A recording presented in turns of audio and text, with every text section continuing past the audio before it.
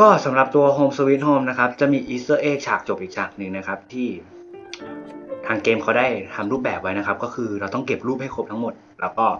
เราจะได้พบกับฉากจบนี้นะครับ ก็คือ เราจะตื่นขึ้นมานะครับ แล้วเห็นจีเห็นเจนเนี่ยกำลังเขียนไดอารี่อยู่ จากนั้นนะครับ พอเราไปดูก็จะเห็นว่าเจนนะครับ เขียนว่าเจนขอโทษนะครับอ่าก็จะ เป็นเหมือน Easter egg ที่เขาใส่เพิ่มเข้ามานะครับ ก็จะประมาณนี้นะครับ แล้วจะมีอีกส่วนหนึ่งนะครับ คือส่วนที่สองนะครับ ก็ส่วนที่สองนะครับ คือเราจะต้องลงมาดูตรงกรอบรูปนะครับ เราจะสังเกตมีรูปที่แปะติดนะครับ ก็คือรูปที่เราเก็บครบนั่นเองนะครับ เป็นรูปเจนของดิว แสดงว่าเจนกับดิวนะครับ ต้องเป็นชู้กันนะครับ จะเป็นประมาณนี้นะครับสำหรับฉากจบลับ Easter egg นะครับ ที่เขาได้ใส่มานะครับ แต่ผมก็พามาดูแล้วนะครับ ประมาณนี้นะครับ จะเป็นประมาณนี้